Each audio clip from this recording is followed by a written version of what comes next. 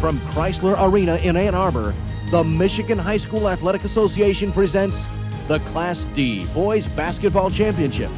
Tonight's game is sponsored in part by True Value Hardware, Farm Bureau Insurance, Hudsonville Ice Cream, and by Denny's Restaurant.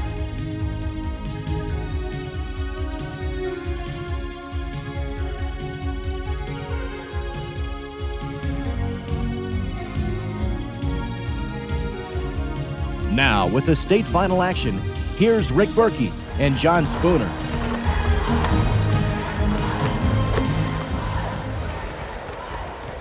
Chrysler Arena in Ann Arbor, where already two state champions have been crowned in Class B, Saginaw Buena Vista, and in Class A, Detroit Cooley.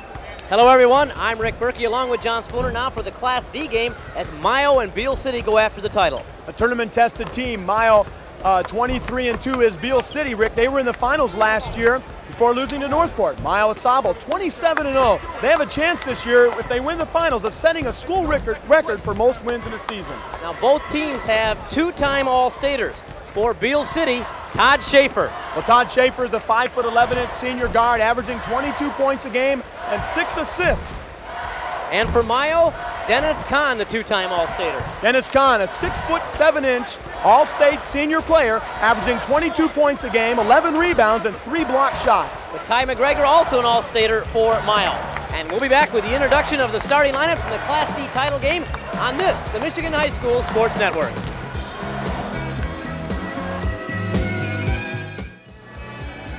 All right, welcome back once again to Chrysler Arena in Ann Arbor. We're just about for the to have the introduction of the starting lineup for the Class D title game between Mio and Beal City. Before that, though, we'll have the national anthem sung by Annie Smith from Montague High School.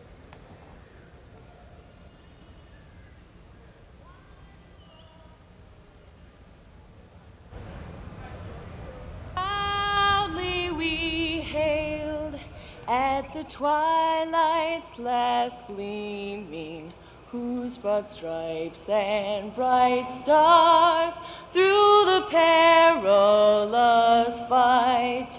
O'er the ramparts we watched were so gallantly streaming, and the rocket's red glare, the bombs bursting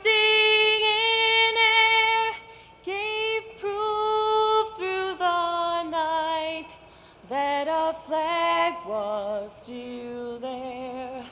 Oh, say does that star-spangled banner yet wave o'er the land of the free and the home of the brave? Miss Annie Smith from Montague High School. She'll be attending Spring Arbor College, and we appreciate her efforts as we get ready for the Class D state title game between Beal City's Aggies and the Thunderbolts of Mio AuSable. Before we get to uh, the start of the contest, of course, we'll need the s- introduction of the starting lineups, and with that, public address announcer Jim Marciniak. And now let's meet the starting lineups for tonight's game between the Aggies of Beal City and the Thunderbolts of Mio.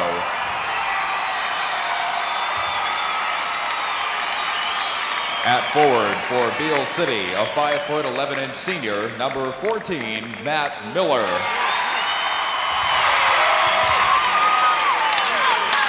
Forward for Mio, a 6 foot 2 inch junior, number 43, Troy Young.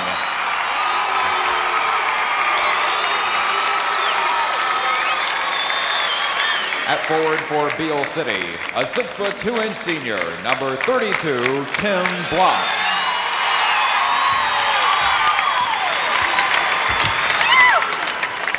At forward for Mio, a six foot five inch junior, number 55, Mike Kann.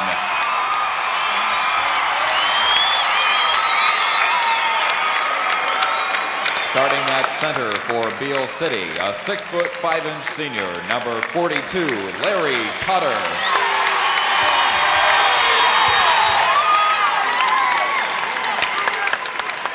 At center for Mio, a six foot seven inch senior, number 41, Dennis Kann.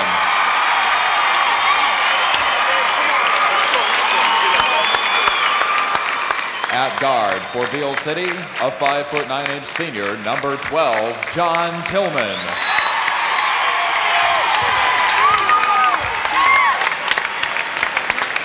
At guard for Mio, a six foot two inch senior, number 11, Tennis Cordell.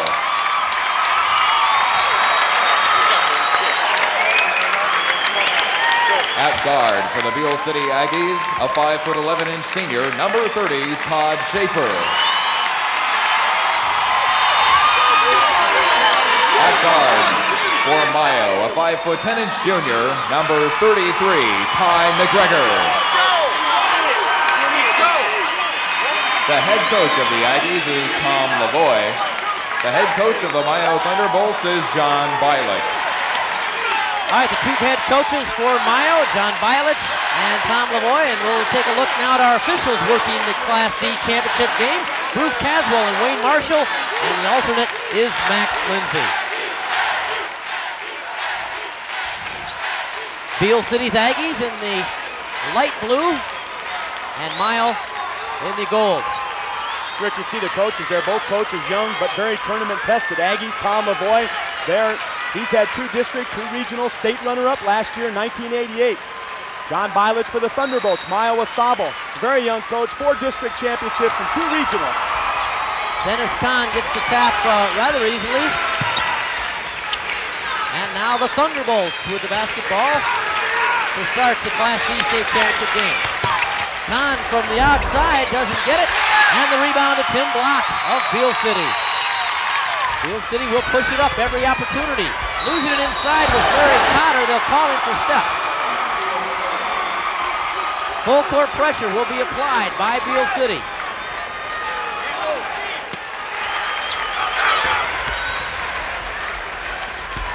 Mio gets it in. And Ty McGregor will bring it up. Great numbers for Ty McGregor, the All-Stater. He's a young man averaging 26 points, 15 assists per game. There you see him go inside to the big man that he always loves to go inside to, Dennis Kann. Kann, a six foot seven inch senior, 225 pounds, a two-time All-State player. He's signed to play basketball at Central Michigan University. Larry Cotter picks up the first foul of the game for Beal City. Mio will inbound. Corey Young uh, out on the top now to Tennis Cordell. Inside, McGregor with a running jump and count.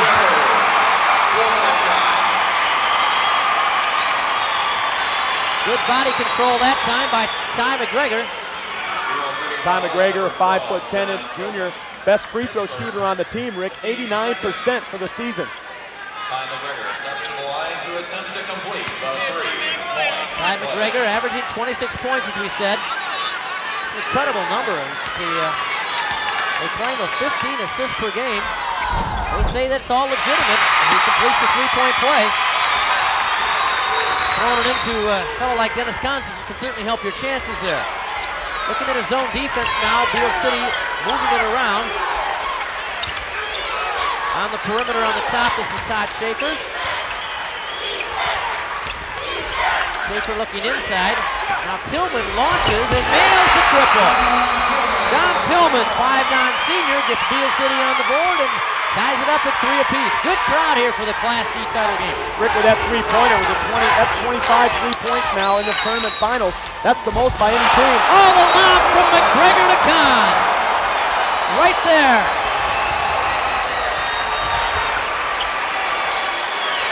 Back the other way, Tillman again can't get this one to go, and Kann with the rebound. He's fouled in the backcourt.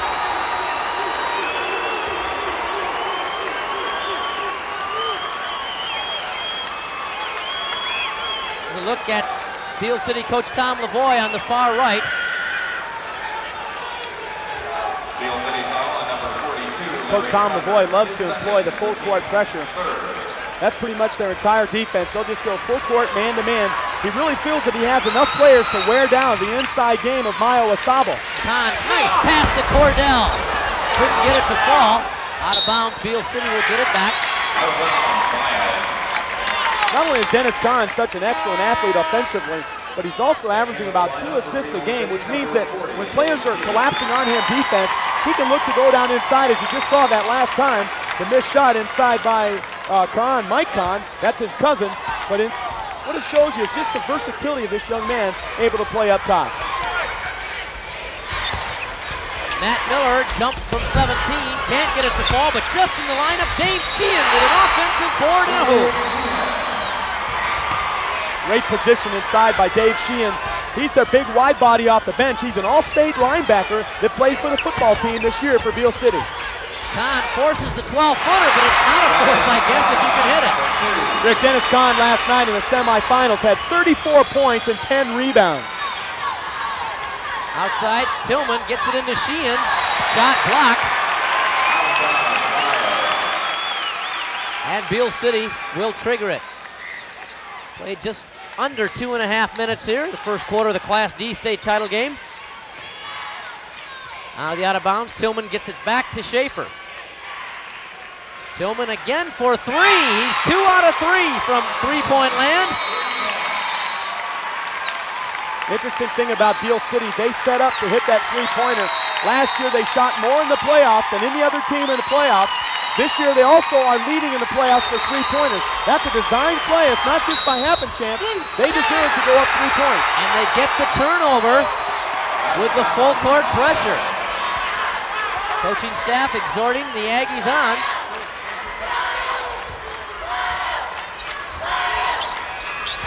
Schafer. Now on the right side, this is Miller. Schafer's first three-point attempt of the night is perfect. Rod Schafer, 56% three-point range in the field goal percentage. There's that full court pressure again. Mio will try to clear it out and let McGregor bring it up himself, and he does just that. On the left side, Troy Young, 6'2 junior, looking inside. Of course, they're trying to look for Dennis Kann. Good battle going on inside between Tim Block and Kann for position. Kann looks for the screen, it's not there. The hanging 12-footer doesn't go. Rebound by Troy Young, keeps it in the hands of Mio. Cordell lost it and got it back. Boy, there's a great war Oh, going on inside. And this is going to put to us. now. What a great battle for position inside there. The foul will go to Tim Block. He was backing in on Kann, and it'll be the second foul on Block. Coach Tom Lavoy has said that that's what Beal City must do. Pressure and bang Kann inside. After the semifinal game last night, Dennis Kann said he was a little bit tired. You got to wonder how much more he can be able to do tonight. Big, strong player, but after last night, Mike Kann, the cousin of Dennis, gets his first points of the game. And Mio back within a point.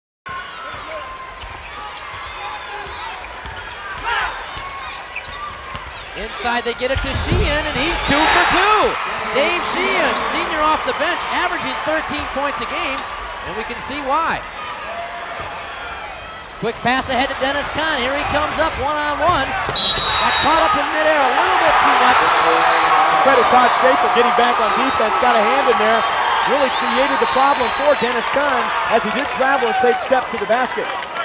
One thing about both these teams, Rick, they both average over 80 points a game. Beal City at 81 a game and Mio AuSable at 86 a game, which means they love to run and get good transition baskets.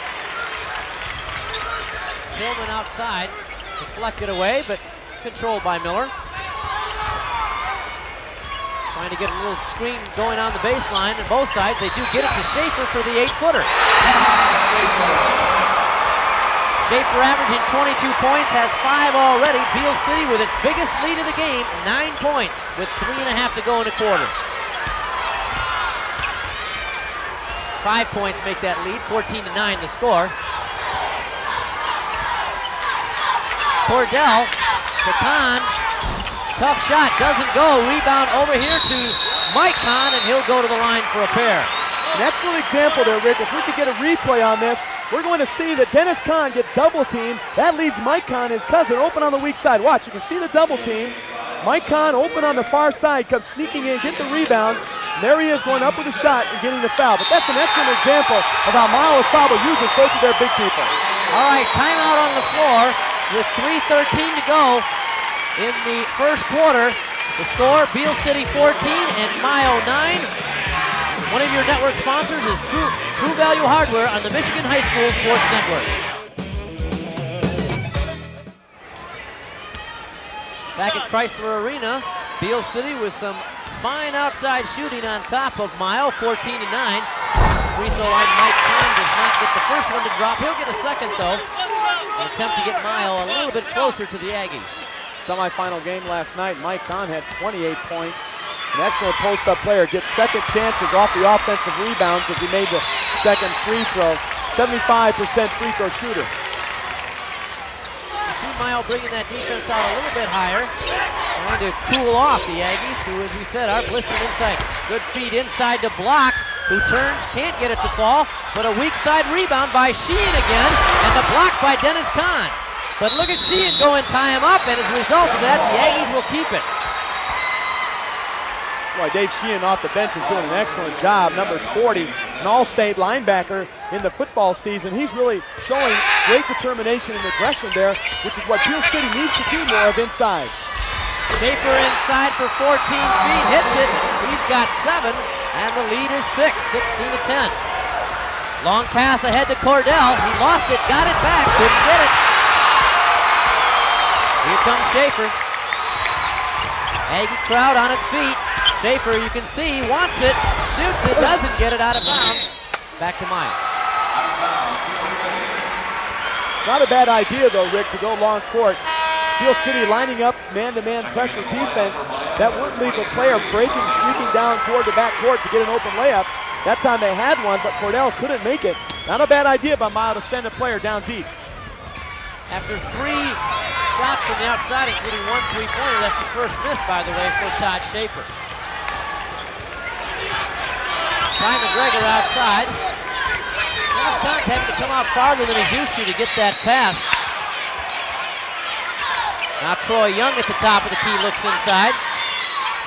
In the lineup, 23, Charlie Brooks gets it to Dennis Kann. Lost it on the floor. Sheehan with the steal, one-on-one. Boy, good uh, hustling back by Charlie Brooks.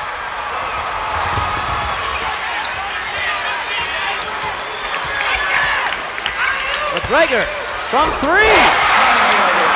Ty McGregor has got the sheet more outside because they are collapsing inside on Dennis Kann so much. That's leaving him open for the jump shot. If he can hit a couple of those, that'll free up Dennis Kann in the middle. Open for the jumper, Tim Block can't get it to go. Battle for the rebound, Sheehan again, but it's blocked. Here comes Ty McGregor, he's bumped at midcourt. Well, if you're gonna get a foul, I guess you might as well get your money's worth, and Matt Miller did just that. Well, Ty McGregor doing a good thing when you're breaking a press. Cut back to the middle, he did that, the player wasn't able to control his feet. Beal City doing a good job pressuring Mio, but Mio needs to look up court a little bit more. That time they had a player open. You'll see the replay here. Ty McGregor gets cut off going across the midcourt. Fender's coming right behind him. But if you noticed also there that Ty McGregor was looking down at the ball as he was dribbling. A good point guard will always keep his eyes up court looking for the pass to get the ball up court. Ty McGregor, the best free throw shooter on the team, shooting 89%. Interesting thing, Rick, when he once hit 56 free throws in a row in a school function and won some big tournament there in Mio.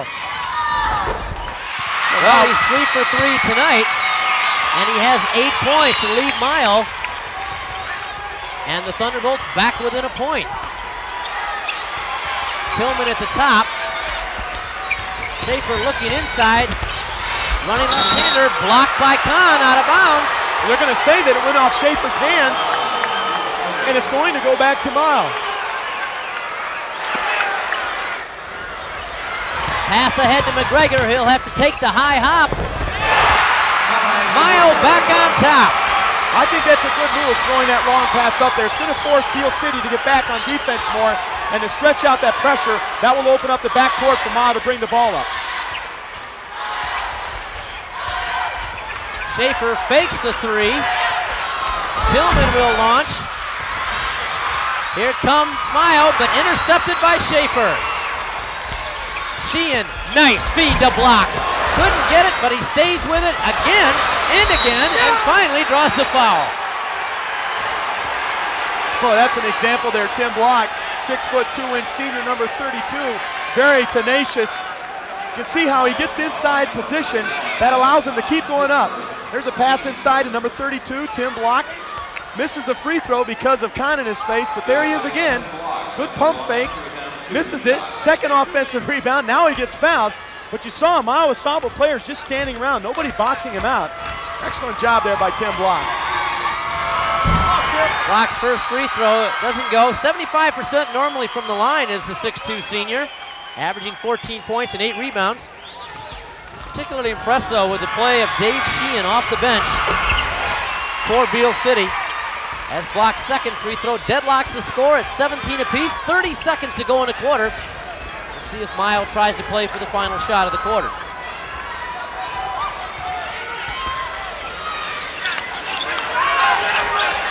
McGregor outside. You can see how they're double teaming Dennis Kann. Good feed. McGregor to Kann, but the other Kann gets the rebound and he was fouled. And this will be on Tim Block. I have it for his third. That would be bad news for Beal City. We'll check it. Coach Tom, Coach Tom Lavoy felt they're going to have to foul really inside. You can see the big fella. That's uh, number 55, Mike Kann, going up. He's missing it. His cousin comes over. Dennis Kann, number 41, but he gets fouled from behind by Tim Block. That's going to put Dennis Kann on the free throw line, shooting 80%. Fortunately for Beal City, as the free throw doesn't go, I was wrong in my count. Only two fouls on Tim Block. Beal City comes up. Their efforts to get the last shot. This would be three for Tillman. And that'll end our first quarter. Exciting first quarter here.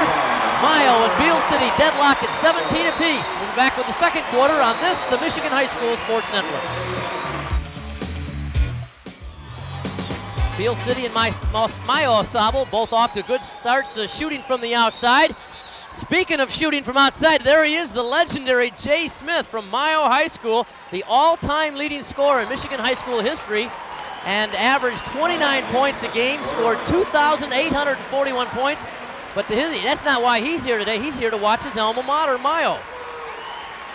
Well, Mio has great community support, Rick. They really are a tremendous team. They have a city population of 1,000, and they sold 900 tickets for the semifinal game last night.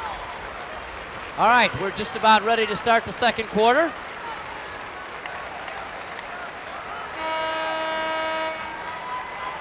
And the arrow will give it to Mio to start the second quarter.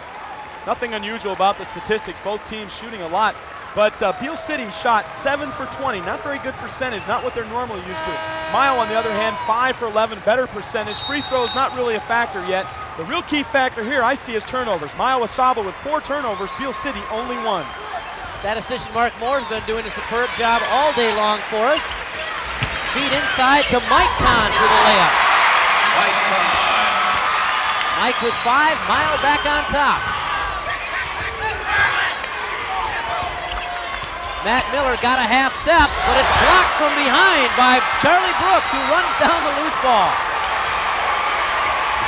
Right now, Rick, almost man for man, Mio AuSable is taller and bigger than the Beal City kids. The Beal City kids have got to be able to box out, but if Mio keeps hitting a three-pointer like that, it's going to be a tough night for Beal City. McGregor continues to lead all scorers, and the biggest lead of the night for Mio is five. Todd Schafer with a nice pump fake. Can't convert, but little Matt Miller inside and blocked by Dennis Kann. And here comes McGregor again.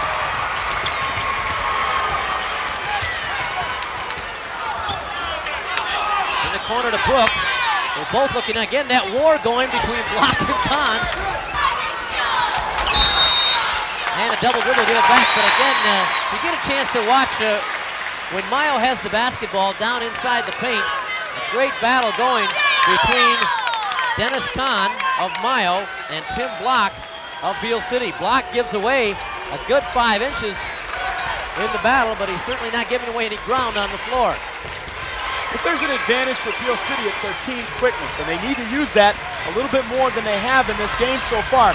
By that, I mean they need to set screens, get Todd Schafer moving to the basket, and looking inside to dump off to the weak side player coming across to help out. Sheehan gets his man in the air, pulls it back down. Brooks, a nice recovery defensively. Block leads in, couldn't get it to fall. Here comes McGregor. Good spin move by Ty McGregor. Oh, that's a great matchup there. Ty McGregor against Todd Schafer. Two All-Staters going at each other. McGregor with 15 points already. Inside Sheehan, the bank shot will not go, and it wouldn't have counted anyway after the offensive foul on Sheehan. Good position inside by number 55, Mike Kann. Did not make the defensive mistake by going up with a block, but just stayed on the ground, kept his feet still, and drew the charge. Timeout on the floor. 5.58 to go in the second quarter. Mio 24, Beal City 17. We'll be back with more after this network advertisement from Bureau Insurance on the Michigan High School Sports Network. Mio on top by seven as we resume play here, just two minutes into the second quarter. Ty McGregor pressured out front, calmly gets it across. Here comes Kann inside, fights block, and block gets called for the foul that time. Rick, that's been a battle all night long. Tim Block really struggling to contain Dennis Kann. I don't think that any one individual is going to contain Dennis Kann. You're going to see here on the replay how hard it is for Tim Block. Dennis Kann makes a move inside. Number 41 gets the ball there. Tim Block, number 32, fouls him. Number 40 came across and fouled him as well. But you can see how strong Dennis Kann is going to the basket on a move inside like that. Kann will go to the line for two. A really good free throw shooter, 80%. Notice, Rick, how fast he shoots the ball when the official gives it to him. Not much chance to set up and really be smooth. Doesn't get him, but uh, cousin Mike keeps it alive, although Beal City comes away with the ball. Here come the Aggies. Who lost in the state championship game last year. A great ball game. Ty McGregor, though, ahead of the pack. McGregor with 17 points, and the lead is nine for Mio. We can see the struggle that Beal has in trying to get the ball to Todd Schafer. And the traveling call against Schafer will give it back once again to Mio. I think Todd Schafer's getting a little bit frustrated here in this game. He hasn't been able to do the things he wanted to do in driving to the basket, getting good penetration and shooting outside. Mio AuSable doing an excellent job containing and more importantly, keeping him away from the ball. McGregor has scored seven straight, can't get this one to drop. And the rebound by Beal City, which has not scored yet in the second quarter. So far it's been Todd Schafer doing most of the rebounding and trying to score. And he'll call traveling this time against Matt North.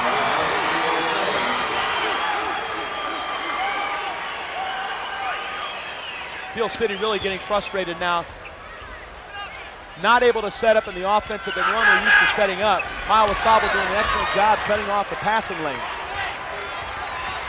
McGregor looks for that half step, but he's cut off by John Tillman, 5'9 senior. Charlie Brooks will take it down low. Dennis Kann collides with block, no whistle. Two on one. The feet a little too far. It's stolen away by McGregor. But did you see the way he kept his dribble there?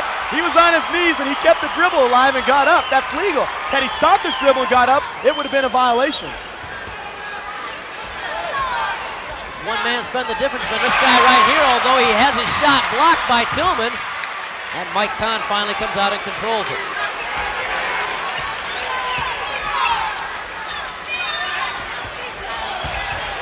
Dennis Kann thinking about the three-point. He'll launch it occasionally from out there. Beal City again has not scored. We have played over half of this second quarter.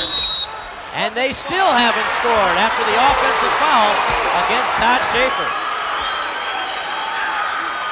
You You're going to see how the player with the ball, I believe that's Todd Schafer getting the ball, passing it inside to number 10. Number 10 just into the game for Beal City, but he probably, Rick, should have stopped and dropped. You can see him here now. Look, right now as he gets the ball, he should stop, go up for the jump shot. Instead, he creates the foul by charging and pushing into the player. He better off would have been able to shoot the outside jumper from eight feet. He would have had a better shot. I said that uh, foul was on Todd Schafer. It is not. It is Bill Schaefer. Dennis Kann ahead. First stage, please, to section 38. And now McGregor. Matt Dunn reports in first stage. McGregor, fancy dribbling, gets his man off a little bit. But Mio will keep it. That battle's continually going on inside. Tim Block, every chance he gets, he's holding on to Dennis Kann. Sooner or later, the officials are going to call it, but until they do, he's going to continue to bang him. Dennis Kann. Shot will not count, and this will be against Block, I believe.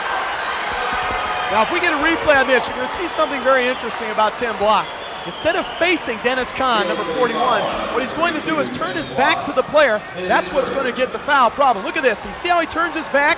with a side. That's what creates the foul. The official will give a foul to the defensive player every time he turns his back like that to the offensive player. That is the third foul on Tim Block. He checks out. And in for Beal City is Larry Cotter. Well, Larry Cotter, six feet five inches, 240 pounds, another banger that's going to be working on Dennis Kann. Coach Tom Lavoie really feeling that that's what they've got to do to Dennis Kann, just wear him down, beat him down, and hopefully they'll be able to get some points off of that. Well, after missing his first two, Dennis Kann hits the next two. I think the key to that was that he waited one more second before he shot that free throw. Mio has outscored Beal City 11 to nothing so far in this quarter. Running down the rebound is Larry Cotter, but the steal, Charlie Brooks will pull it back out.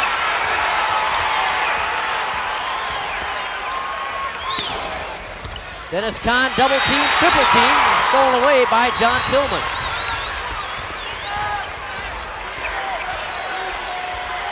Open is Bill Schaefer. His first points of the game breaks the drought. What that also does is it allows Beal City to set up into their man-to-man pressure. If they don't make the shot, they're not able to do that because of the defensive rebound.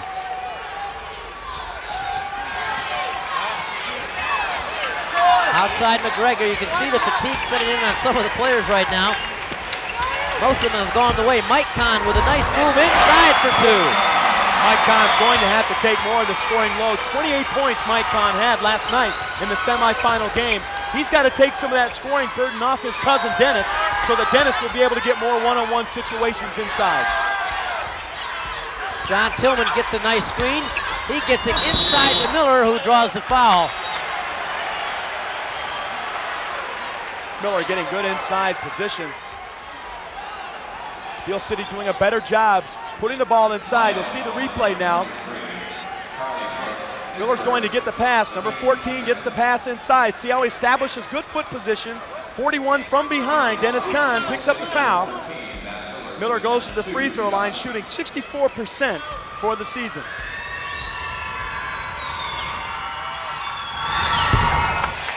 He gets the first one to drop.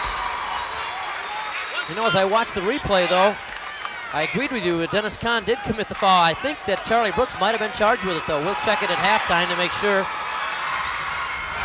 Second free throw also good by Matt Miller. No question about those two throws. Beal City back within nine as we approach the two-minute mark of the first half.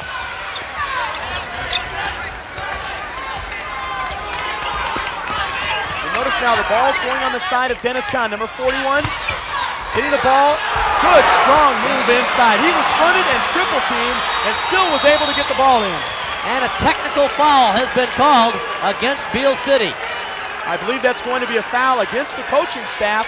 That will be a two-shot technical foul. As Dennis Kann made his move, the coaches felt that he traveled. So the coach just emotionally jumped up, signaled travel violation. The official said, wrong move. Technical foul. That'll be two shots now for Mio AuSable. And the ball.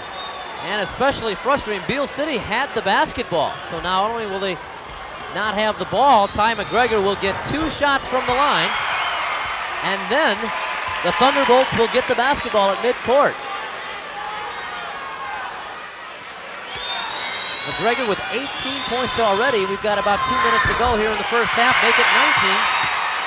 I know, Rick, that that's a rule that you often wonder about in high school basketball. Why, you know, that rule is in place for that emotional situation. Coaches a lot of times just jump in off the bench, but uh, the rule is there. The officials are told to enforce it, and they will enforce it because it's there.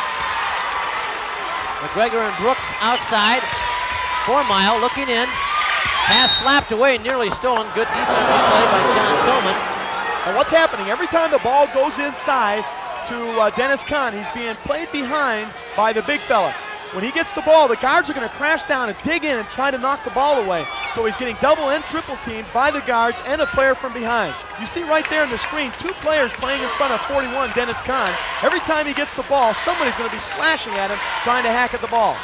He get the 12-foot jumper to fall, though. And the way to beat that for Dennis Kann is to not go inside, but hit that outside jumper. Got a man that big that can hit the fall-away jumper like that, you got a good thing going. 10 points for Kann. Inside, losing out of bounds, Larry Cotter. 116 to go.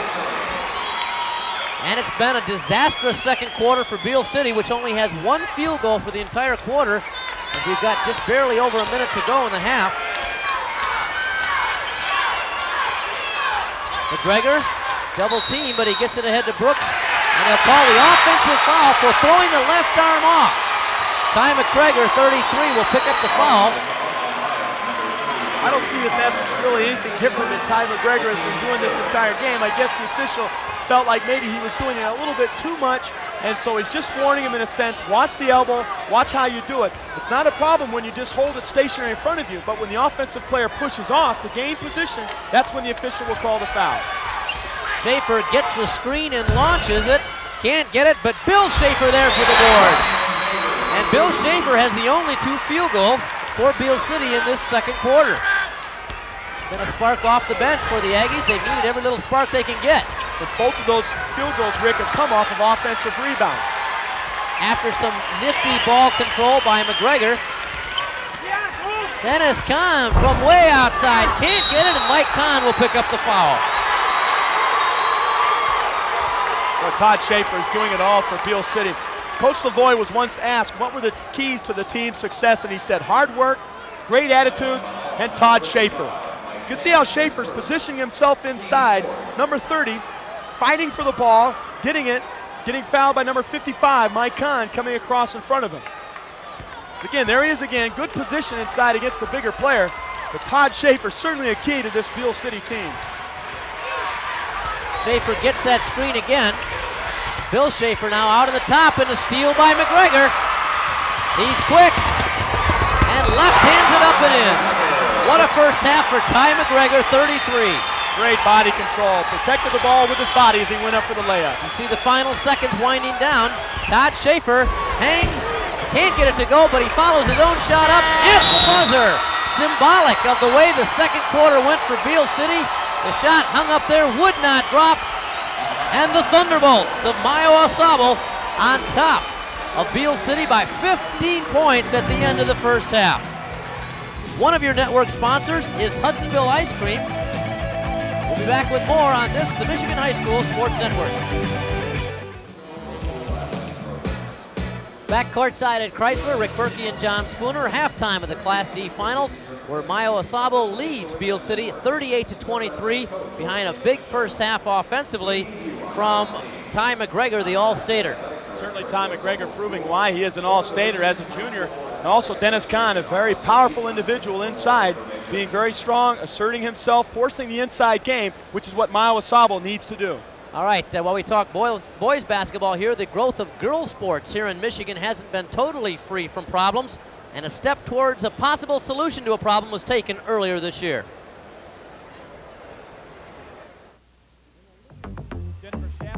In a little more than a decade, participation in girls' sports in Michigan high schools has risen dramatically, as have the various skills of the young women participating. Boyle hits a jumper. But during the past dozen years, as the number of participating females has steadily grown, and the number of female teams participating has grown even more, the number of women coaching those girls has steadily dropped, and the number of women officiating those girls is embarrassingly small.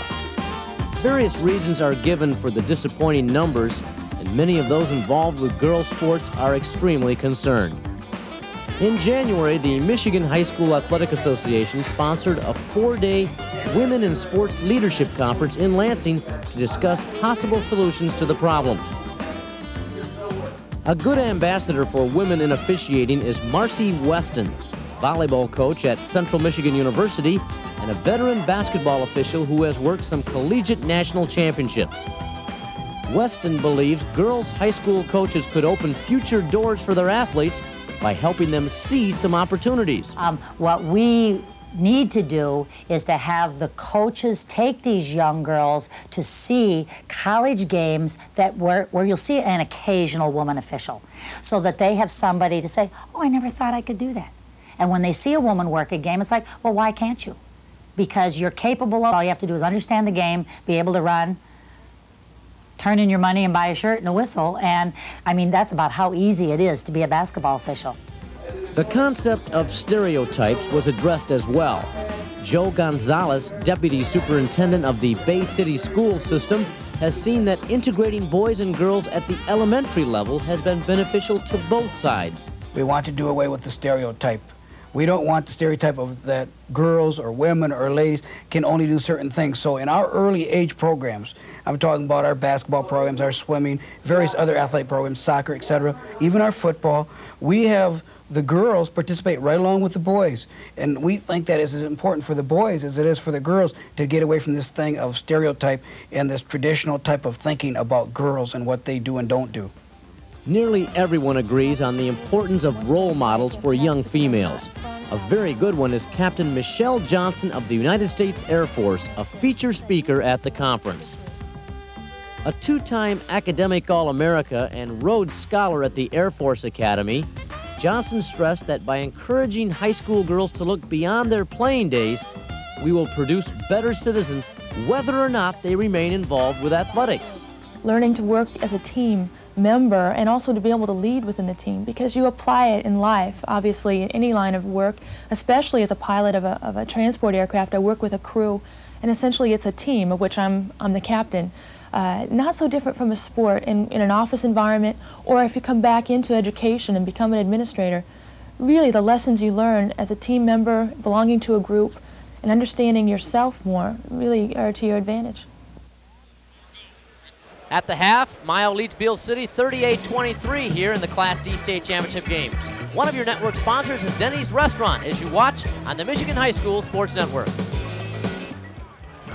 You see Mio AuSable on top of Beal City 38-23, 21 points from Ty McGregor and get some help from uh, Dennis Kann and uh, Mike Kann as far as scoring the points, but uh, overall team contribution. Good look from down below here at Chrysler Arena.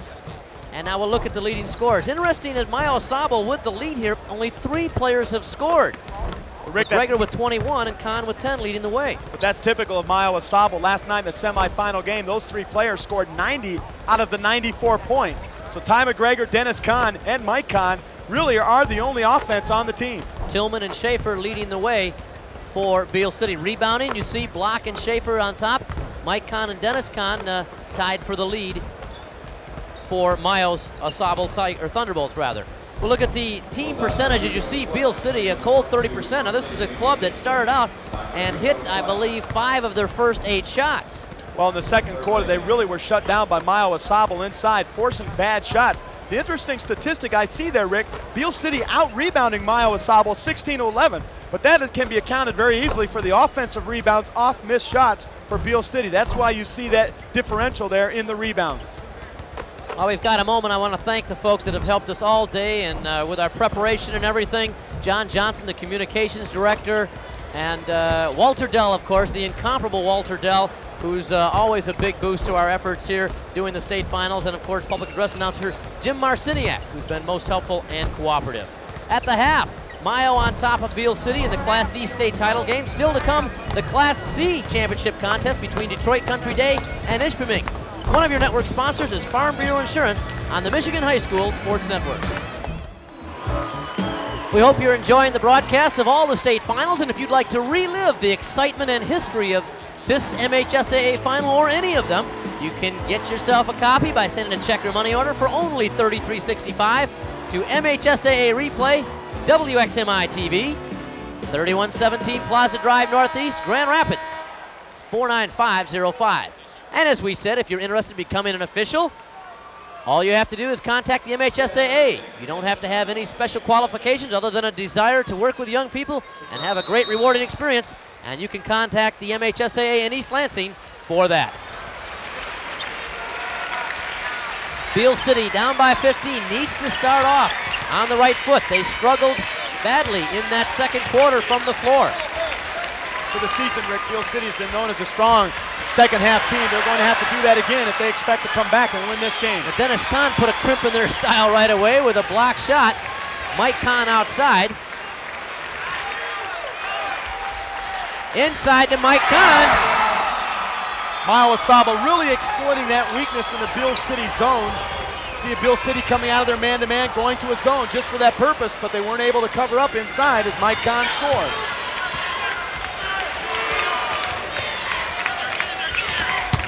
On the baseline, Larry Cotter, another block.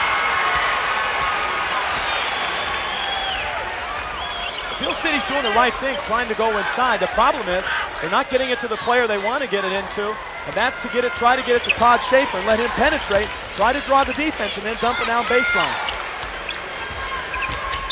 Brooks' pass is kicked.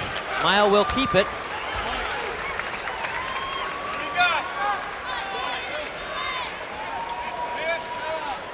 Just played over a minute here in the third quarter.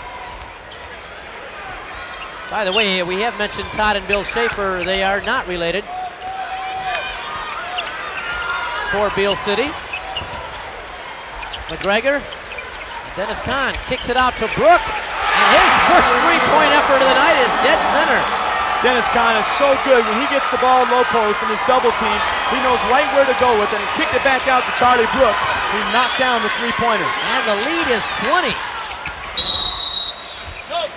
Matt Miller got a half step on his man and drew the foul. Common foul. Aggies will inbound.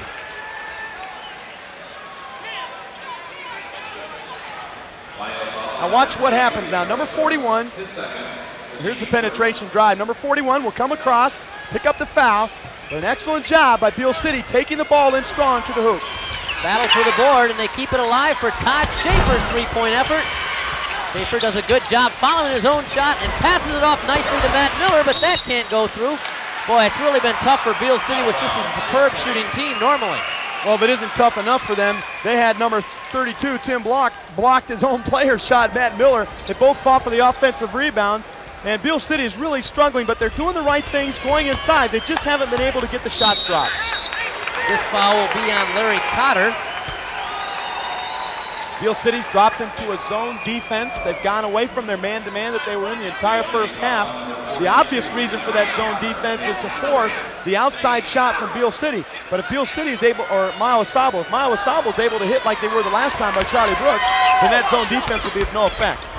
Bounce pass inside, and Kann puts it away. Not only did he put it away, he almost ripped the backboard down. That's what you call a power slam, assertion of yourself in the middle. The Beal City fans still on their feet after that last one, and here's a whistle inside. But boy, that last dunk got the Beal City or the Mio uh, fans and team up off their feet. Just an example of what happens when Dennis Kann gets open. You'll see on the baseline. Let's watch it once again, and you'll see the pass inside. And this is the foul the other way.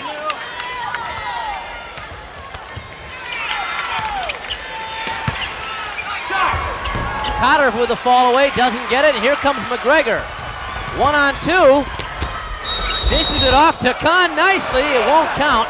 A foul before the shot. It will go against Beal City. But excellent communication between Dennis Kann and Ty McGregor. Dennis Kann did the smart thing as a big man coming down the wing. He was yelling to Ty McGregor all the way, I'm here, I'm here. Ty McGregor knew it. As soon as he went to the middle of the lane, he went up in the air without hesitation, got it over to Dennis Kann. Ty Mc McGregor triggers it for Mio. Inside to Mike Kann. Pretty play, doesn't quite work.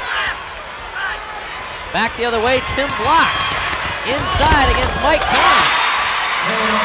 Tim Block averaging 14 points. That's his first field goal of the game. Beal City back now to a man-to-man defense.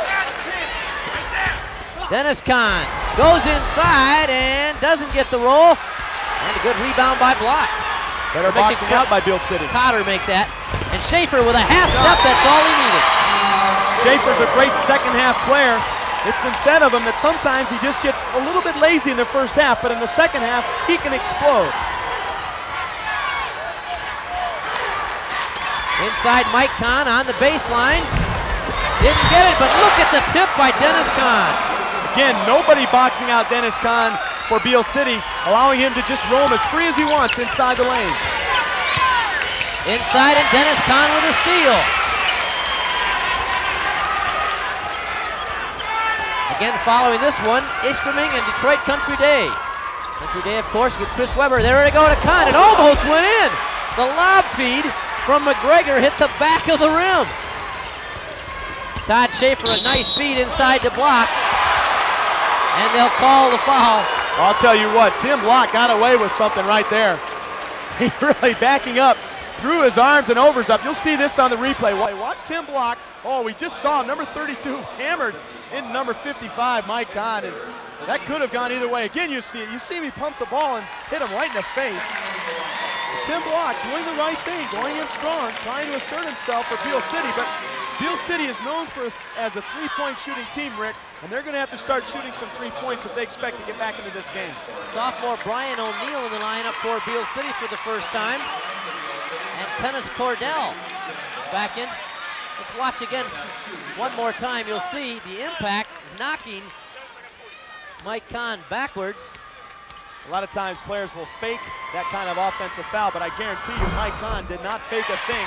He really went back because Tim Block nailed him. He'll have the signs tomorrow to prove that that was not a fake.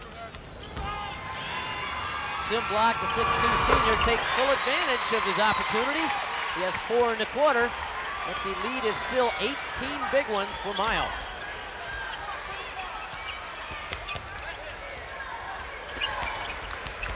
McGregor at the top. Dennis Kann backing in and stripped away by Todd Schafer.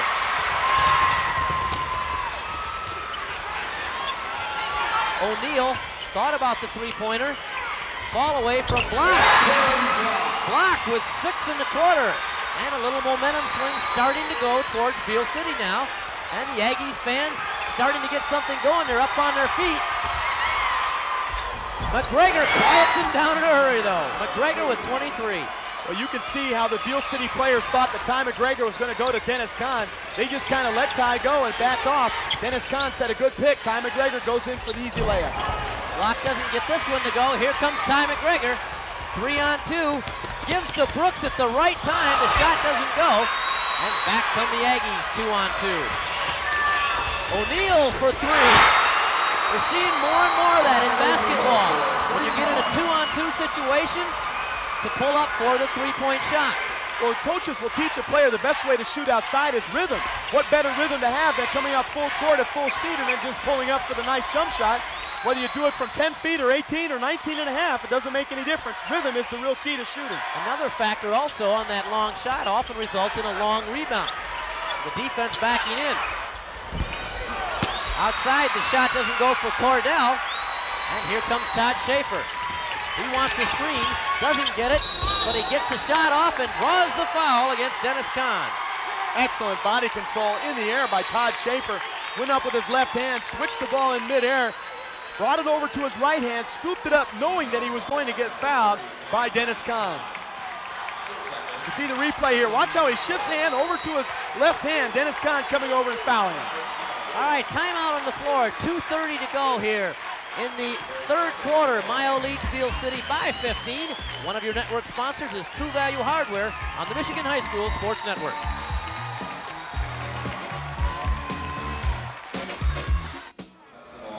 See Mio AuSable on top still by 15. Beal City battling back though. The Aggies trailed by 20 moments ago. They've cut five points off that deficit. Todd Schafer gets him a little closer. Todd Schafer definitely a key to that run. Good defensive rebounding. The thing for Beal City is that they've got to do better is to box out on the defensive boards, not allow the bigger and stronger Mio AuSable team to get those second and third attempts. Todd Schafer now in double figures with 10. And Beal City back within 13. Cordell gives to Brooks. Off the legs of McGregor. McGregor will get inside and get the 14-footer off, off the mark. Here comes Todd Schafer. Matt Miller, nice feed over here to O'Neal. That's what Beal City does so well. They get the transition game going off the turnover. That time they boxed out, just like we said, got the rebound, looked up court. Good presence of mind by Todd Schafer getting it up to the open man. Brian O'Neill, and look out! Dennis Kann quiets the crowd. He bent the rim, and the officials don't see it yet, but now he goes up and pushes it back up. We didn't get to see that on the replay or the TV, but what happened is he brought the rim down, and sometimes in those breakaway rims, they locked up, and it was bent a little bit. No one saw that except for Dennis Kann. He went back out and pushed it back up, so now it's okay. You get a chance, I hope, to see that uh, dunk again by Kann.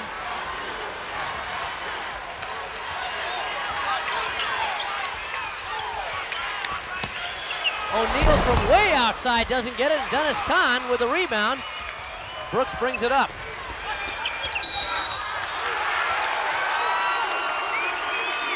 Todd Schafer with a foul. Not really a good foul for Todd Schafer because that's going to put Ty McGregor on the free throw line. No, that was only the third team foul, so Ty McGregor won't go to the free throw line.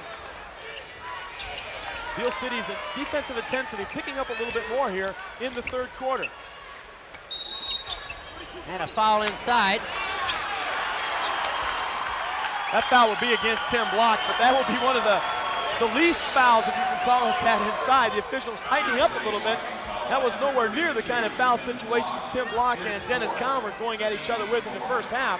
And that's the fourth foul on Tim Block. Well, Tim really has his hands full.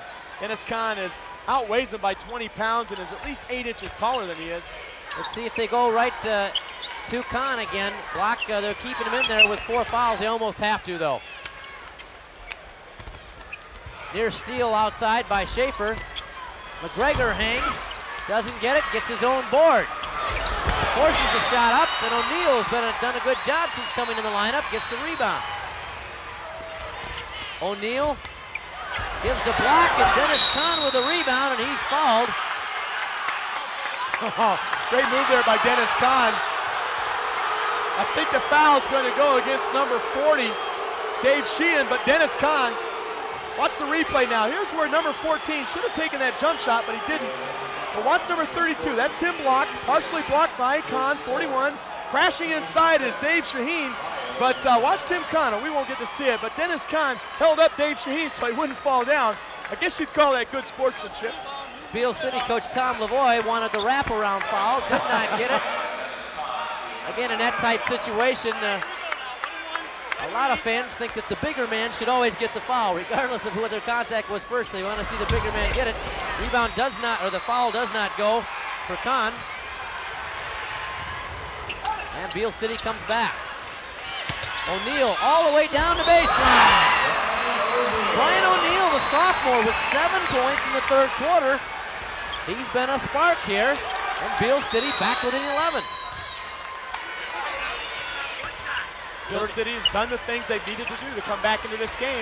Box out on the defensive boards, limit Miles Sabo to one shot. McGregor inside, down the paint. But they haven't figured out how to deal with Ty McGregor driving down the middle of the lane. Ty McGregor with 25 points. 15 seconds to go. Beal City will try to get the final shot of the quarter. Block sets a screen for Schaefer. Six seconds now. O'Neal's pass slapped away, heads up. Statistician Mark Moore with a nice grab at courtside. And there's no time showing on the clock, but the horn has not sounded. That is possible, folks. Again, they'll have to get rid of it as soon as they touch it. He won't get it off in time. It can be done. It's awful tough. Three quarters are gone. Beal City got a little bit closer. Mio pulled away a little bit more. And after three quarters, Mio leads Beal City 53-40. We'll be back with more on the Michigan High School Sports Network.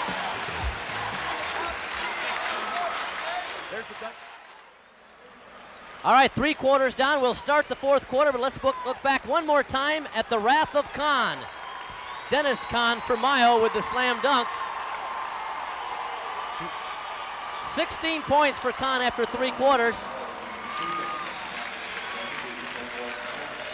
Was that, Rick? The wrath of Khan?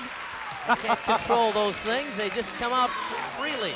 You and Chris Berman ought to work together sometime. That would be nice. Although Chris would be insulted by that comment. You see the Beal City fans still on their feet. They've been behind their squad all along. They've battled back. They were down by 20. Got it down to 10. Now they trail by 13, but with a good outside shooting team that they have, a couple three-pointers in a row, they could be right back in this one. Two things have been a real key for Beal City, their ability to shut down the offensive rebounding of Mio AuSable. By doing that, they allow themselves to get into a transition game. The problem for them is they need to convert on better field goal percentage than they have for the game. And right away, a steal by Todd Schafer. Someone got a hand on it. Schafer made the steal secure. Inside goes Sheehan. He can't get it to fall. And Mike Kann with the rebound. There's an example of the bigger Mio AuSable team. That time, Mike Kann, he didn't even have to jump to get that rebound. Just bigger and stronger. But Beal City's got to attack the basketball. Great inside feed into Dennis Kann. I'll tell you, Ty McGregor, Rick, he really knows how to get the ball inside, and I'm beginning to believe why he's averaging 15 assists a game. Todd Schafer the other way got a half step on the baseline. Schafer did not score in the second quarter, but he now has 12.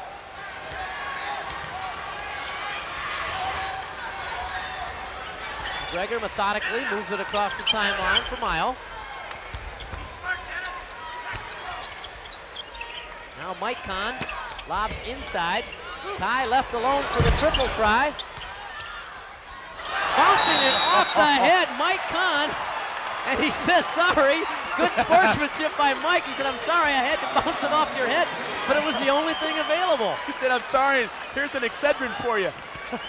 I've heard of players using the guys using his head, but I've never heard of one using someone else's head. Mike Kann now in trouble, lost it on the floor, it's still loose, and the tie-up will give it to Beal City. Speaking of using someone else's head, I thought that's what the play-by-play man uses with the color, but watch this now, you'll see. Outside shot there by number 33, Tom McGregor misses, but watch this. Mike Gregor, 55, goes after it, and boink. Great camera work there, guys. Folks in the truck have been on it. Lou McPherson uh, showing us that one from the baseline. Block's turnaround jumper is good. And remember, Rick, Ty uh, Block has been playing with four fouls now, and that's a real key factor, whether he can stay away from picking up that, fi that fifth personal foul. McGregor gives it outside to Troy Young. Cordell lobs. Kann triple team, but it doesn't oh, matter. Oh, that's unreal. There were three guys standing right around him, hand up in his face, and he goes up for a jump shot. No arch, just lines it right in. Todd Schafer pulls up and launches it. Todd Schafer starting to warm up, and Beal City back within 10. Tell you, you get the feeling this one is far from over, even though it's a 10-point lead. Not an over and back. The fans think so. We'll get a chance. We'll explain why. Inside Ty McGregor. Now Dennis Kann will pull up from the top. And the rebound by Beal City. Great box out by Beal City. That's Dave Shaheen, the All-State linebacker into the game. But a good example of what Beal City needs to do more of. Box out and get the, out, the defensive board. Good feed from Schafer, but the block by Dennis Kann. Getting back to that over and back that really wasn't, that a lot of fans think it was, including the Beal City. There are three points that must go across the timeline, both feet and the basketball. That was not the case last time for McGregor. Pass too far, it'll go out of bounds.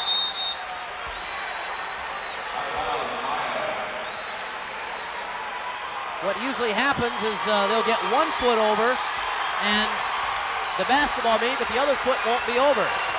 Just got a shot there. The Beal City bench really standing up and exhorting their teammates. Remember, Beal City, a real threat from the three-point range. They've got three players out there now that can hit the three. Block inside with a left hand rejected by Dennis Kann. Dennis had four blocks in the first half. He's got at least four in the second half. Mike Kann way outside will take it to the corner. Now McGregor spinning inside on Todd Schafer gives to Troy Young. Kann hangs, glides, and can't get it to fall. Good move there by Kann, just couldn't quite get the spin. John Tillman, oh, what a pretty feat over here. Miller, it would have counted. There's an example of the player, defensive player, turning his back to the offensive player. Miller doing a good job taking the ball in strong, knowing that he had beat Dennis Kann. See the replay here. Miller getting inside, number 14, and he actually created the contact, but number 41 turned his back to the player. The official will call the defensive foul every time. Again, another angle. Watch 41 turning his back. He will pick up the personal foul, sending Matt Miller, a 5'11 inch senior, to the free throw line. Miller at the line gets the first one. There's a case you've heard me say this before. A beautiful pass by Tillman. Now, if he makes the basket, Tillman gets an assist. My contention has been for some time now, well, if that's the case, then if he's fouled, which wasn't any part of his control, and he makes both free throws, then why not give him the assist there? In that case, he didn't make them, but I'm saying if he makes both free throws, it resulted in, the re pass resulted in two points anyway, and why not give the guy the assist? Gen generally, Rick, that is the idea that the assist gives the points that are directly as a result of the assist following that action, and a free throws would not be considered as direct results of an assist. Yeah, but humor me for a moment. All right. A foul outside on Dave Sheehan. And Mike Kann will go to the line.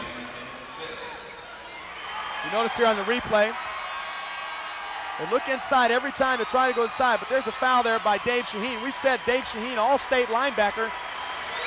I believe he's fouled out of the game with five personal fouls, but he really has done what he needed to do. He came in, gave him a real spark. It's unfortunate that he fouls out with this much time leaving, uh, left in the game, but Dave Shaheen did a good job boxing out the all-state linebacker.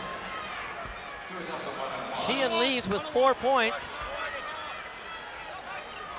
And Mike Kann has nine, goes for 10 with the one and one.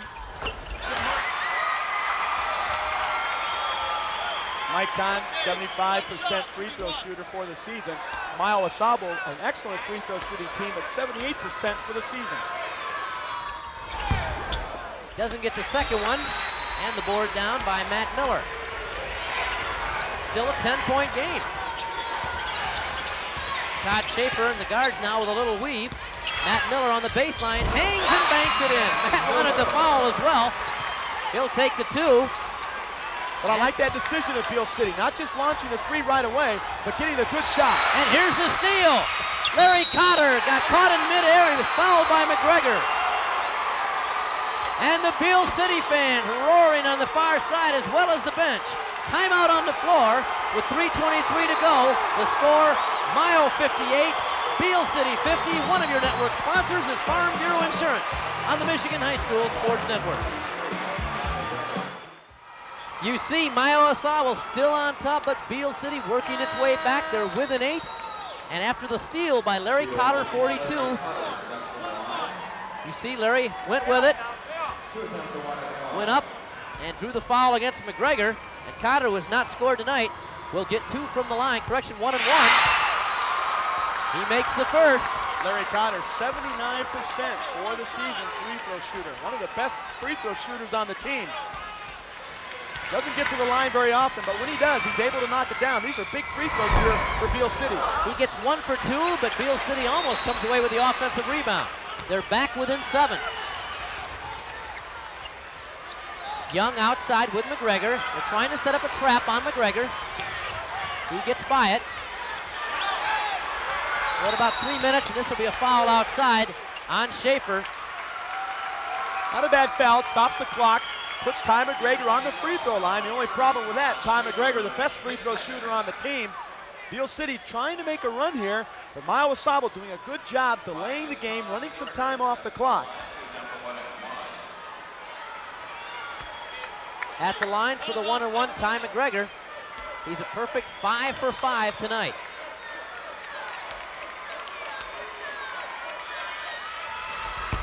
Doesn't get it, but look who's there for the rebound. Dennis Kann can't get it to fall, and a tie-up, and this one goes to Mio. Good battle there by Mike Kann, along with Larry Cotter.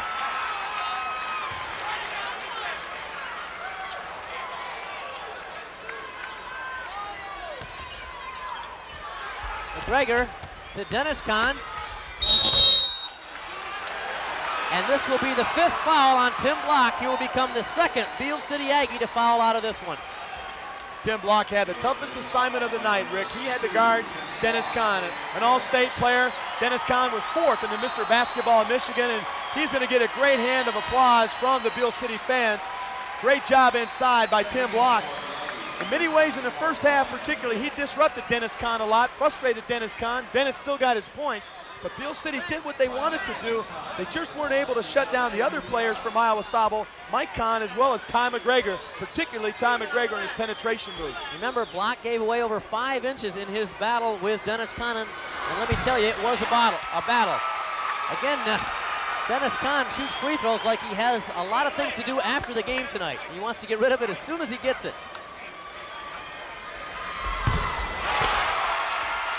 But as they say, it ain't how, it's how many. He's four for six after missing his first two. Schafer for three! Schafer has hit two three-pointers in this quarter. He has 18. Beal City back within six. And a foul in the backcourt on Cotter. I don't know about that. It didn't seem to be too much contact, not near as much contact as been going on the entire game, but Got to remember one thing about Beal City, Rick. They've been in the finals before. Three of the players were starters as juniors last year. When they lost to Northport, they're back as seniors. They know what it's like. And you've got to think a little bit of this final game experience for Beal City might come through as they continue to try and get the three-point play. Todd Schafer knocking it down that time. Todd Schafer, without question, the best three-point shooter on the team. 56% three-point shooting. Free throw goes. Now that's the fourth foul on Larry Cotter, which is significant. Should Cotter foul out, Beal City then will not have a player over six feet to try to guard Dennis Kann. But if Kann keeps making the free throws, that might be academic. Here comes Todd Schafer. He wants it. O'Neal from the outside can't go to get it, and the foul on Dennis Kann inside. Well, it was clear that Dennis Kann got the ball with his hands, but what wasn't so clear, and the officials saw that, you'll see on the replay that Dennis Kann, number 41, will bang in the low body area, and that's what causes the foul. Good entry pass inside. Shot was partially blocked. There's number 14, Matt Miller. But watch number 41. See how he leans in with the body. He does get the ball with his hands, but he leaned in with his body, and that's where the official called the foul. And that's the fourth foul on Dennis Kann. 2.34 to go. At the line, Matt Miller will get two. You gotta like Matt Miller, 5 foot 11 inch senior. He's drawn two of those fouls against Dennis Kann by going inside like that. It's unusual for a, a, a smaller player to go inside, but Matt Miller doing a good job. Miller has five in the quarter, seven in the game, and the full court press applied by Beal City. Beal City is only two three-point shots away from tying this game here. Troy Young outside in trouble, lost it out of bounds, but it was slapped away by O'Neal. Plenty of time in this game, over two minutes to go. They can get a steal on the inbounds here or force a turnover. Beal City is going to be in good shape. Again, they're trying to trap McGregor. He gets it over here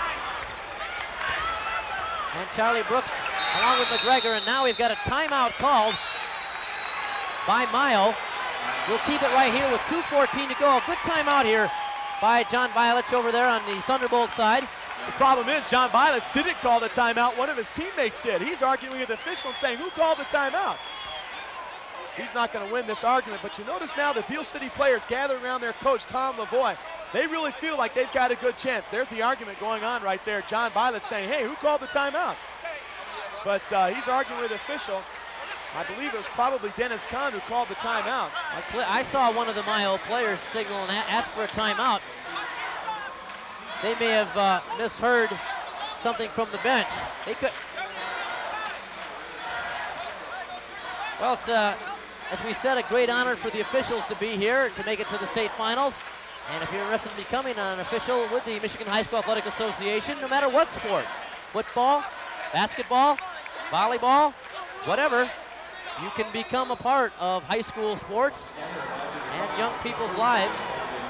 Contact the Michigan High School Athletic Association. Now, Rick, Beal City's got to feel very good about their chances here in this game because what they've been able to do is in the second half is to shut down Mio AuSable's inside attack, particularly from the big people. They've done a good job boxing out, getting the rebounds, limiting Mio AuSable in their offensive attack on the offensive boards. Beal City only two three-point shots down from tying this game. Inside, Mike hangs and scores. Mike with 12, and the lead is eight. Two minutes to go.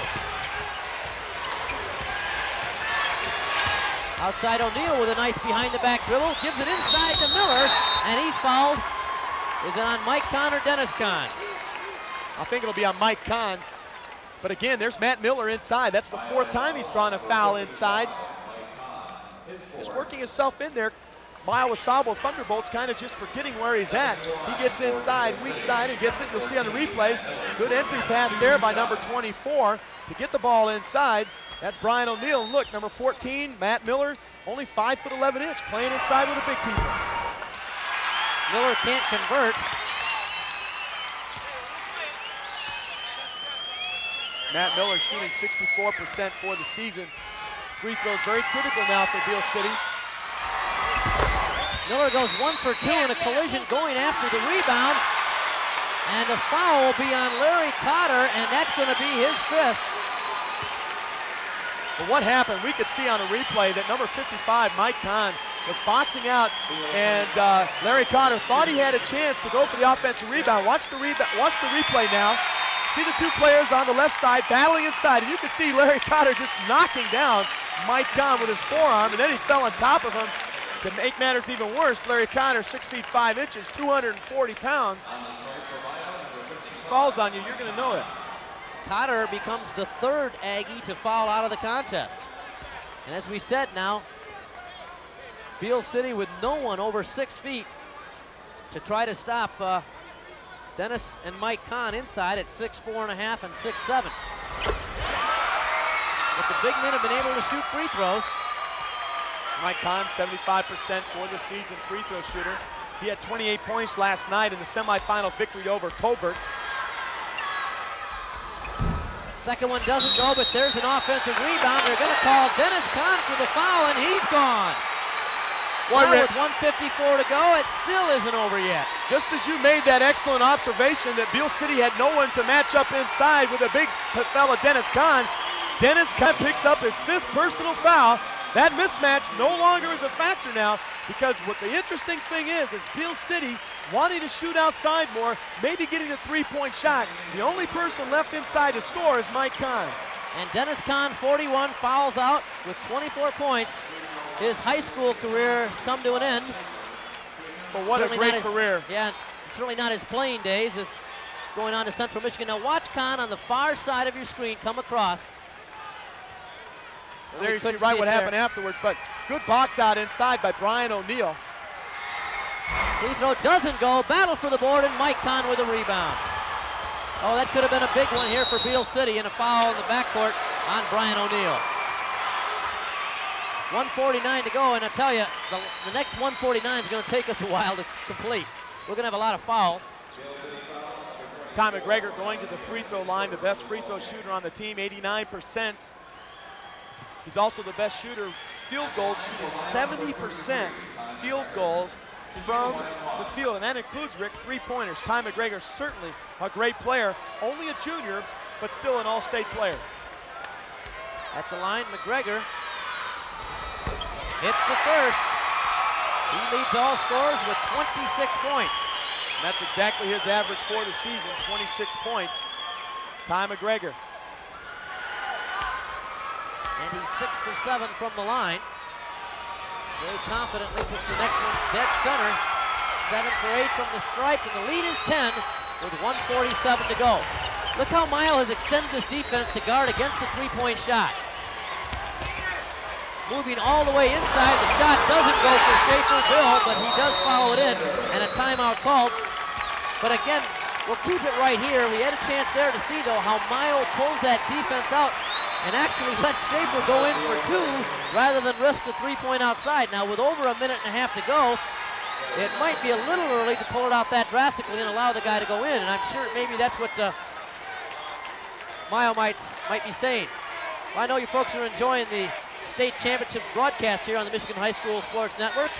If you'd like a copy of this game or any others, you can send a check or money order to 33 for 3365 to MHSAA Replay, WXMI TV, 3117 Plaza Drive in Grand Rapids. This is VHS format only. Meanwhile, in the Mio huddle, John Bielich, fifth year coach with a 78% winning percentage. I'm sure the one thing that he's talking about uh, is guarding against that three-point shot. Well, he's telling the players, make sure you get a hand up in the face of the shooter. Do not let them shoot an open jump shot, particularly Todd Schafer. He's the big three-point threat. But don't forget, John Tillman and Matt Miller both can hit three-pointers, as well as Brian O'Neill, who was in the game for Beal City.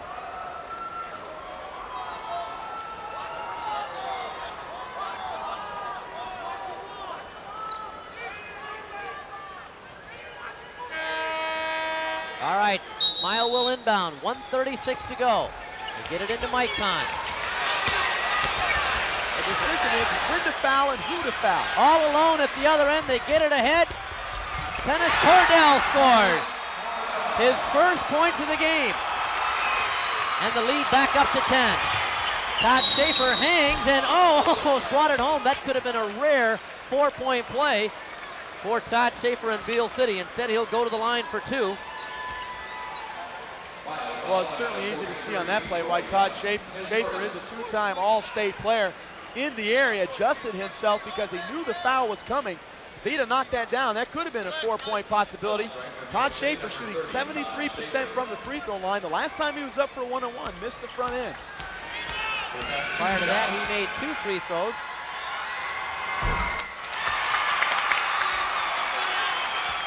Todd steps back from the line. Usually a good idea when you miss the first free throw. Walk away, get yourself set, try to regain your confidence. And he does just that. He has nine points in the quarter and 19 in the game. And splitting the defenders, going the other way, Charlie Brooks. And a foul on the Aggies, I believe Todd Schafer.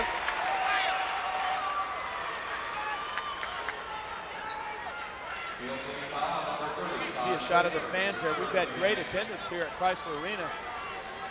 Excellent team support for both of these teams. Mio AuSable, great community support, as well as Beal City. Both cities really proud of their teams and excited about the chances for the young men to come and play in a state final. Beal City feeling a little bit disappointed here. This is the second year in a row now they've been to the state finals. If they aren't able to hit some big three-pointers here, the remaining minute 12 seconds to go, they're going to go home losing again, as they did last year to Northport. Dennis Cordell gets the front end of the one and one and the backup as well. He's got four points all in the fourth quarter, and it's an 11-point lead for Mio, getting closer and closer to the Class D state title. Bill Schafer outside, his three-pointer comes up short. Mike Kann gets it ahead. Boy, they tried to get it up to Charlie Brooks. He would have had an uncontested layup. A good foul actually prevented the layup. And Dennis Cordell will go to the line for the one and one. Mio AuSable's got to feel good about going to the free throw line, Rick. They've done an excellent job shooting here in the fourth quarter. Watch the upcourt pass now, long upcourt pass. There's Schafer with a foul, but you can see down underneath was a player wide open. Dennis Cordell's going to the free throw line, but had Schafer not fouled, Dennis Cordell would have had an easy layup. Here comes Todd Schafer the other way as we're just under a minute to play here. Schafer pulls up and hits the triple. Coaches are trying to get him to call a timeout. Nobody saw him. They couldn't get it. And a foul in the backcourt. With 45 seconds to go, Beal City back within eight. And the Aggies just won't quit. Trying very hard to uh, keep from getting to the state championship game two years in a row, only to come up short. Rick, as long as Mio AuSable continues to make their free throws, it makes absolutely no difference what Beal City does on the offensive end. Even if they hit the three-point play, they continue to foul Mio AuSable. They continue to hit the free throws. Hitting that many three-pointers in the final minute will not make a difference in the outcome of the game. Mio is 10 for 14 from the line in the fourth quarter, and the trend continues. Ty McGregor again leading all scores with 28 points. The only thing Beal City can hope for is a missed free throw. They've got to get a good box out, an outlet pass, get the ball up court quick, and get the three-point shot. Second one doesn't go. And here comes Schafer. Watch how he gets the screen. Three-pointer by John Tillman off the mark. O'Neal pulls it back out and he launches the triple. Doesn't go. Loose ball batted around and saved by the Aggies. They zip it outside and Ty McGregor on the breakaway. And the foul by John Tillman. 26 seconds to go. I told you the last minute and a half would take a long time, and it has. Beal City having a lot of chances there to complete the three-point play. They just weren't able to knock it down. Remember, they're a team that normally shoots very well three-point range, 48% for the season. Watch how many times now that there's a foul situation picked up there by John Tillman. McGregor at the line for the one and one. Gets the first one. And according to my unofficial totals, by the way, my totals are about as unofficial as you can get normally. He'll have a chance to crack the 30-point barrier, scoring 30 points in the championship game. Not too many players have done that, and he's got 30. 26 seconds to go here. Beal City, O'Neal from the top. Couldn't get it, but Miller there for the rebound. He scores, calls a timeout immediately. 19 seconds to go. We'll keep it here again. The lead is nine for Mio. One has to admire the work of Ty McGregor, two-time All-State player, only a junior, averaging 26 points, 15 assists. He's done an excellent job, but you can see where Ty McGregor has really taken charge here in the fourth quarter, shooting the free throws. Mentioned, Rick, about him unofficially scoring over 40 points. The individual scoring record in the championship game is 47 points by Antoine Joubert from Detroit Southwestern. All right, earlier today, of course, we had two champions crowned.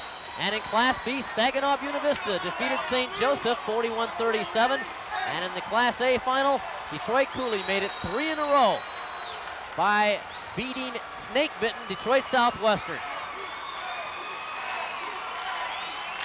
It's hard to imagine how you could call a team that gets to the final seven times in eight years snake-bitten.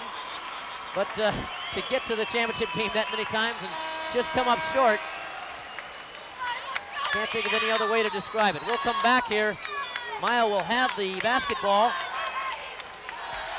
at the baseline, needing to go the length of the court, but their intention right now is certainly not to score. They want to get it in.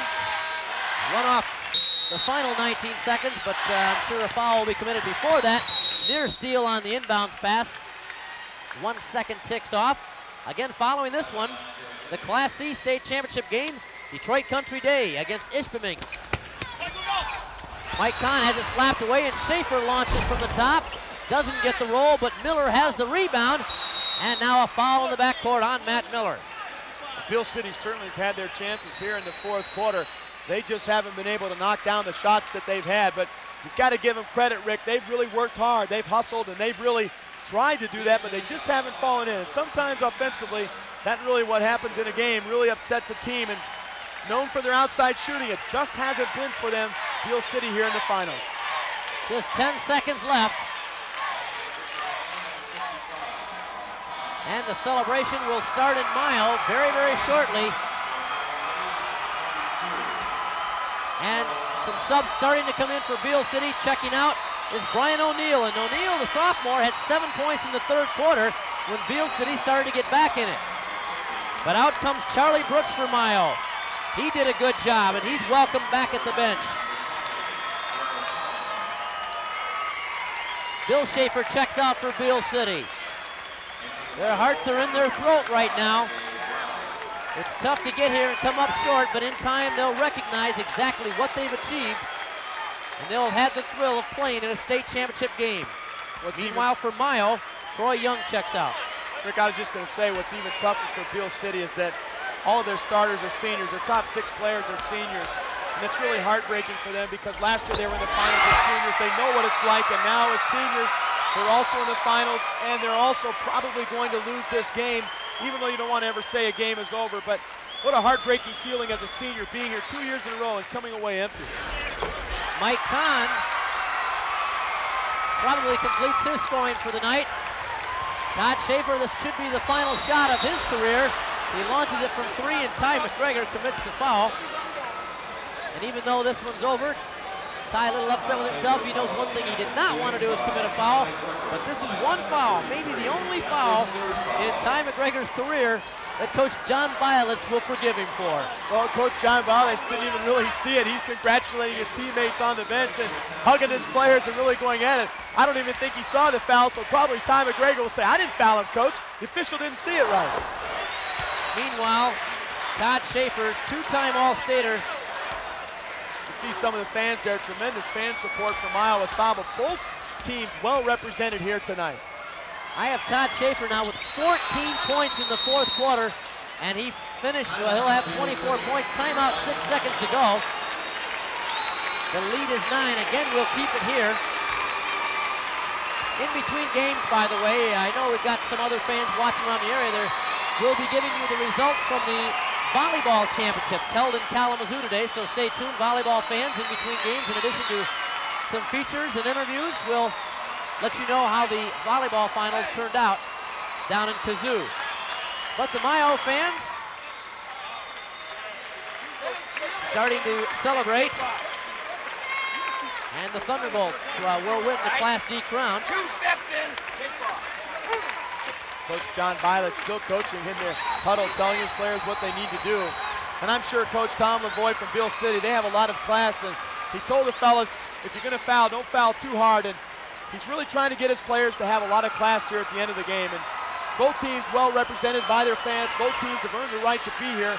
It's really a shame that one team has to lose, but Mio AuSable with the dominating height inside and the great power and strength through the big players, Mike Kann and Dennis Kann, and the play of Ty McGregor really has proven themselves worthy of a state championship. Mike Kann will inbound. He'll go the length to Ty McGregor for his 32nd point. And that's going to do it. The celebration starts. The Thunderbolts from Mio are the Class D state champions. Defeating Beal City 78-67. They'll celebrate at midcourt and then congratulate their opponents today, Beal City, in just a moment. We'll take a break after Mio has defeated Beal City 78-67 for the Class D state title. We'll come back with the award ceremonies. One of your network sponsors is Hudsonville Ice Cream on this, the Michigan High School Sports Network. The Thunderbolts of Mio are the Class D state champions. And now for the award ceremony, public address announcer Jim Marciniak. Ladies and gentlemen, before the presentation of the championship trophy and medals, let's acknowledge these two fine teams for their achievements this year and their play today. At this time, we direct your attention to center court, where Brian Callahan, the superintendent of Granville Public Schools and the president of the Representative Council of the MHSAA will make the awards presentations. First, let us honor the runner-up in Class D, the Aggies of Beal City.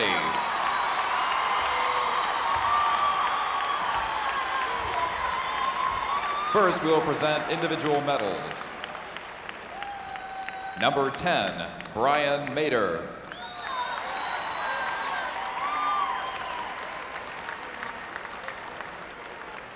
Number 20, Blair Cohn.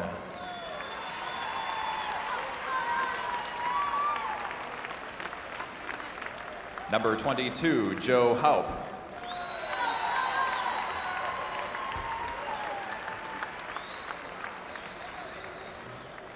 Number 24, Brian O'Neill.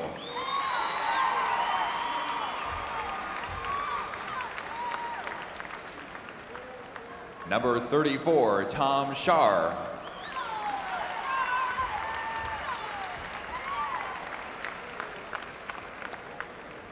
Number 40, Dave Sheehan.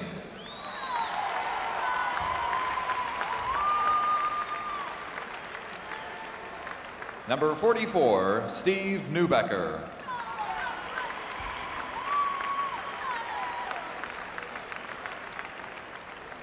Number 50, Jason Smith.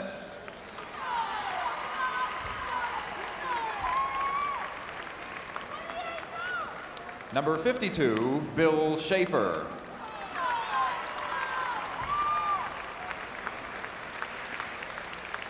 Number 54, Rob Schafer.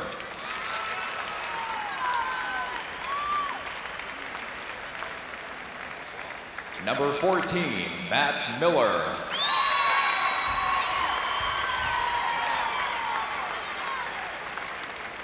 Number 32, Tim Block.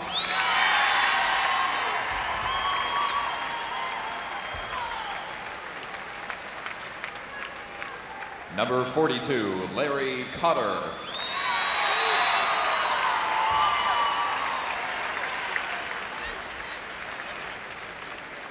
Number 12, John Tillman.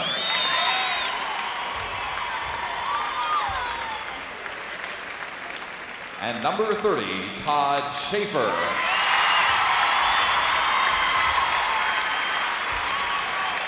Accepting the runner-up trophy in Class D is Coach Tom Lavoy.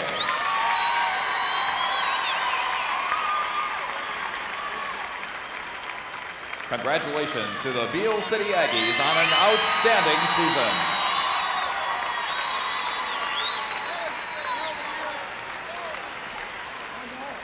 And now for the 1989 MHSAA Class D champions, the Thunderbolts of Mio High School. First, we'll present individual medals. Number 13, Mike Judd.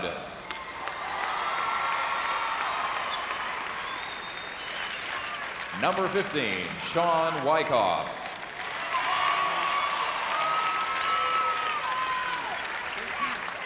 Number 21, Steve Solak.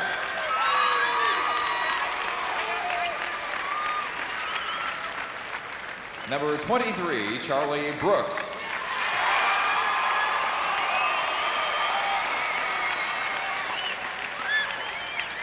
Number 25, Gabe Brown.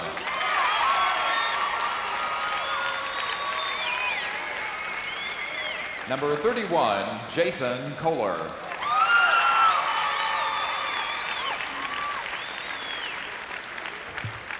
Number 35, Brett Wolfing.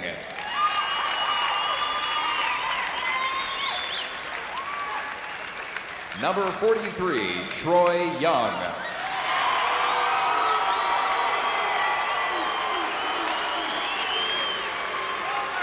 Number 55, Mike Kann.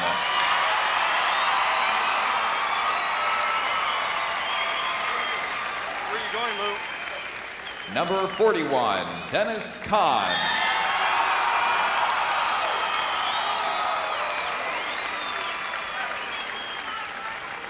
Number 11, Dennis Cordell.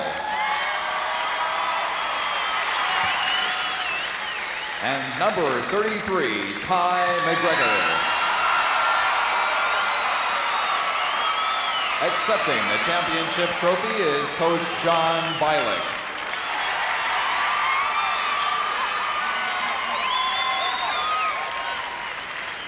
Congratulations to the Mio Thunderbolts, the 1989 Class D Boys Basketball Champions.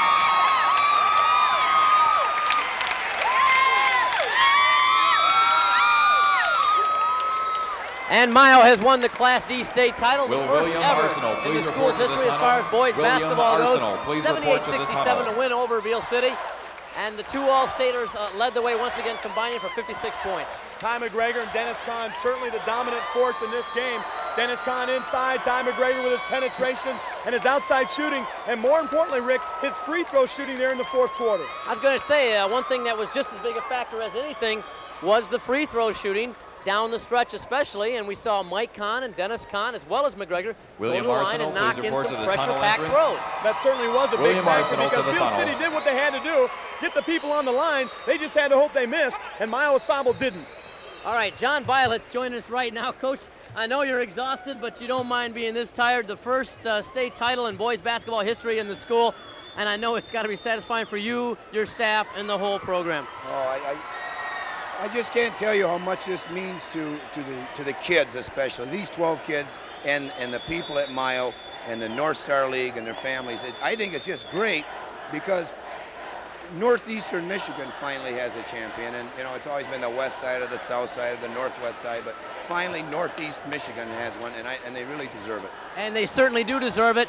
Now, I'll tell you, Coach, a lot of coaches go along and never get an All-Stater. How did you come up with two of them, Dennis Kann and Ty McGregor, legitimate All-Staters? Well, number one, Dennis Kann and Ty McGregor are two hardworking kids. Dennis probably possess, possesses more natural talent than a lot of kids in the state. And Ty McGregor is just such a hard, hard worker. Uh, Ty's dad, who's my assistant coach, Butch McGregor, has put in a lot of time with Ty and uh, uh, just fundamental things. And not only is Ty a good basketball player, he's a 3-6 student, and so he's got all, he's, he has everything. Coach, 28 wins in a season is a new school record for you. It also puts you in an elite category, Michigan High School. Only five other teams have had 28 wins in a season, and that really puts you up there among the top teams in the state history. Oh, you know, number one, the Detroit Free Press has had our team ranked number one the entire year. Uh, the UPI has had us ranked number one all year. We, uh, we are undefeated the whole year, but you know, these kids that I have are so special and so smart that we never talked about it, and that's what, what the great thing is. That didn't go to their heads. It might now, but it didn't go to their heads or anything, and, and I'm just so happy with these kids. I just, I, I don't know. They've got a right to let it go, and I know you want to be with your kids. Uh, so go out there, celebrate uh, the first uh, title in the school history, and uh, congratulations again. Thank you very much. Coach John Bilich from Mio as the Thunderbolts have won the Class D state title in a very exciting game uh, in which Beal City never quit. All right, uh, one of your network sponsors uh, is True Value Hardware. Hardware will come back with more on the Michigan High School Sports Network.